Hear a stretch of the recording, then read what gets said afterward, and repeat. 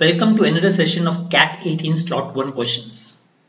Let's take a few sums and look at what is the right approach to solve the CAT questions. And normally not for equations and formulae and I normally recommend people to look at alternate methods and faster methods to solve. Normally a person who scores really high can actually solve almost all the questions. And to do that you need to have a right method to solve the question. So let's look at a few methods by solving the CAT 18 sums. So here if you look at it, there are pipes filling it and draining it. Initially they said that empty tanks filled in 6 hours by 6 filling and 5 draining pipes. So let's say each hour, each filling tank fills X amount of this one, X per hour. Okay, and the draining, let's say Y per hour okay proportion x per hour y per hour so that means 6x minus 5y draining remember should give you in an hour it will fill 1 by 6 in 1 hour it will fill 1 by 6 same way 5x minus 6y in an hour it will fill 1 by 60 normally I'm not for equations but this is one of the sums where I'm looking at equations. Directly you can add it up. So you will get 11x minus 11y is equal to 1 by 6 plus 1 by 60 which is nothing but 11 by 60 so automatically you get x minus y as 1 by 60 now we ideally would want to find x and y. For that I can multiply this equation by 5 which will give me 5x minus 5y equal to 5 by 6 now if I subtract one first equation and this third equation, let's say this third, so 1 minus 3, I will get the value as x is equal to or 3 minus 1 let's say. So this is 5 by 60. So if I look at 1 minus 3, I'll get x is equal to 5 by 60. And if I subtract, let's say 3 minus second equation, this is second equation, x will get cancelled. You will get y is equal to 4 by 60 now I want two filling and one draining tank. So that means if I want two filling and one draining tank it will become 2x that means 2 into 5 by 60 minus 4 by 60 which becomes 6 by 60 or 1 by 10 so it will fill 1 by 10 in 1 hour. So that means total 10 hours to fill the tank 10 hours is the answer. 10 will be the answer. Oh. When they work alone, B needs 25% more time to finish the job than A does. They two finish the job in 13 days. A works alone till half the job. If you look at initially, they finish the job in 13 days, they mentioned. Okay, if they finish the job in 13 days and A works alone, half the job is done then B works for 4 days. Finally, B works alone and completes the remaining 5% job. So this 13 days which we talk about is what A works for half the job plus 4 days plus 5% work that B does. Now obviously this has to be integer. The number of days B takes to complete this 5% has to be integer because ideally these two also will be integer. If this is an integer, if 5% okay say takes one day to complete the total number of days for 100% will be 20 days which is the ND option C option. But if I take any other option like 5% takes 2 days to complete then 100% will take 40 days. It's not in the option. So you say only option is C20 you can directly mark the answer without calculating. As a matter of fact when you see that 5% is there and you can directly mark as 20 days because that 5% will take integer number of days to complete and you can make out. So if you want you can substitute and check out backwards. So if it is 20 days for B to complete the job okay 20 days for B to complete the job and it takes 25% more time so A will take 16 days which you can get by 20 upon 1.25 now we can substitute out here. So for half the work A will take 8 days 4 days plus 1 day by b together becomes 13 days satisfies So automatically 20 is the answer. So I have solved the sum immediately by looking at the numbers 5% and I also checked it also. It doesn't take much time if you take hints from the numbers.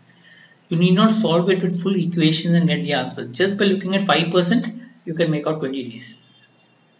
This comes when you practice it. I mean normally we tend to do things which you're habituated to do. If you form a habit of looking at ways of solving you'll automatically be able to do it if you don't have a habit, no matter what you do, you will not get this method in the exam. It has to form a habit. It has to be the first thing that comes to your mind when you're solving it. Next, how many numbers of two or more digits can be formed with the digits so that every such number, each digit is used at most once. So every digit can be used maximum once.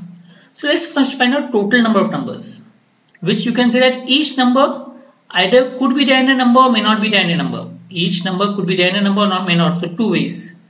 So 2 into 2 into 2 9 times. So which will be 2 raised to 9 which is 512 total number is 512 because each number can be there or may not be there. So for 9 numbers it will be 2 raised to 9 from that you have to subtract single digit number which is 9 ways and no digit. There is also possibility of no digit which you have to subtract one way. So total becomes 502 that is the answer. Is another good sum which if you look at the option you should be able to get the answer. How? So you have 4 is to 9 is what Raju and Lila originally had marbles.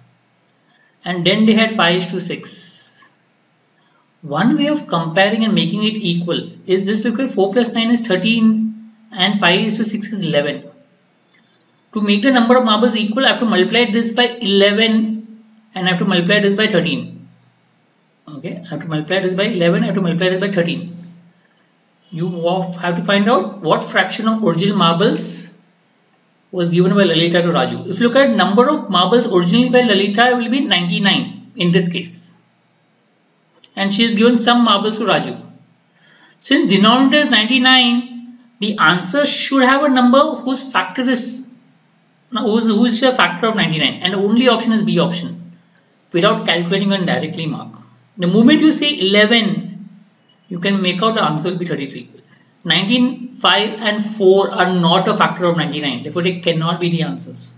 I repeat again. If you, to make the number of marbles equal, you have to multiply by 13 for 5 to 6 and multiply by 11 for 4 to 9. So you look at number of marbles with Lalita initially is 99.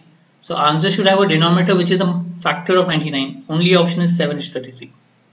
But I'll anyway solve just for your understanding this 4 fours are 44 is to 99 is the marbles later initially the marbles would be 65 is to 78 so number of marbles that Lalita gave was 99 minus 78 which is 21 upon 99 which is 3 upon 7 upon 33 sorry. Again I solved it. Just looking at the option and I cross checked it also. You need not cross check it. Normally when you get the answer you can do it really fast. In an examination the maximum possible score of n which is pass marks is 45% of n. Candidate obtained 36 marks but falls short of the pass mark by 68% which one of the following is then correct so I will rather take a number which is easy to calculate let me just start with 200 so what is the pass mark? 45% which is 90. And how much he scored? He falls short by 68%. That means he scored 32% of the pass mark. 32% of 90 is 32% of 100 which is 32 minus 32% of 10 which is 3.2 which is 28.8. So we get 28.8 but I want 36 marks. Now to go from 28.8 to 36 I have to increase by 7.2 and if you notice properly 7.2 is 1 fourth of 28.8 that means I have to increase by 1 fourth. If I have to increase by 1 fourth it means this 200 also have to increase by 1 fourth. Will become 250 is the actual value. If 250 is the actual value the answer is C option right? I started with 200 got answer 28.8 but I want 36 so I to increase by 1 fourth. 7.2 out of 28.8 is 1 fourth. So original number 200 also to increase by 1 4 to get the actual number.